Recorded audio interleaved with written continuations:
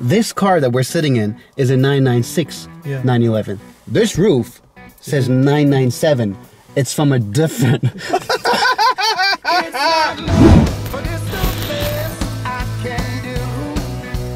okay, welcome back, everybody. The king is back. And then, do you know what a Hofna is? Yeah. We are sitting in a 2003 Porsche 911 996.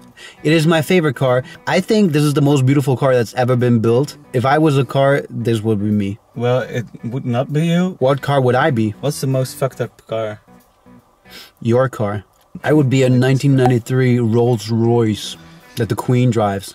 Well, no, you would be one of those Soviet cars. This is also the first car that I ever drove when I got my driver's license. This is it. You look like a girl. You look like Justin Bieber. When he looked like a girl. Okay, let me preface this by saying this isn't the first time this happened. This also isn't the second time it happened. This also isn't the third time it happened. That what happened? You don't know why you're here?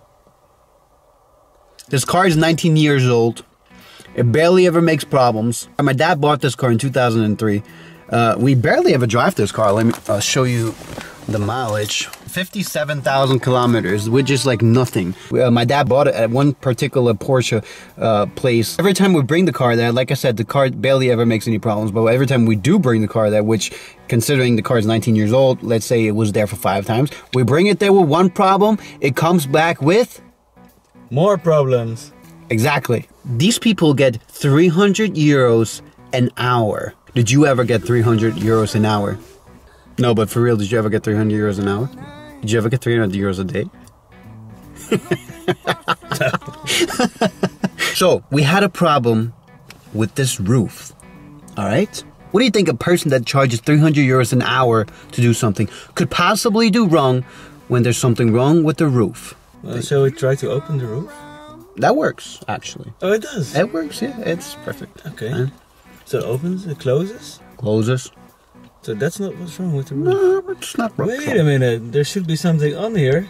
There should be a nice little cover. There should be a cover, right? The reason this isn't there is because it fell off while I was driving. It almost hit my face. Also, the only reason I'm making this video, the only reason I detected this problem is because they not properly attached this cover here and therefore the cover fell off and I detected something and I was like, how in God's name is this possible? The sticker This- says 2006. This sticker, that's the problem. This roof doesn't belong on this car. Maybe Right. this It's from car a different car. It is from a different car.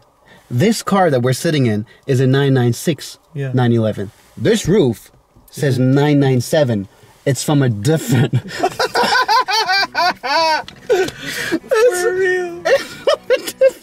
car. They put a different roof on this car. they get 300 euros an hour. I'm afraid to bring them the car because they might change the right roof, but then I might have like BMW seats in here. I already called them. They said it's, it's not possible, but they tend to do the impossible. What if you write a letter to Porsche headquarters? I'm gonna tag them. How about that?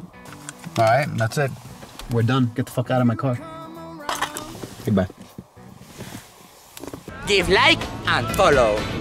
Aloha, motherfucker.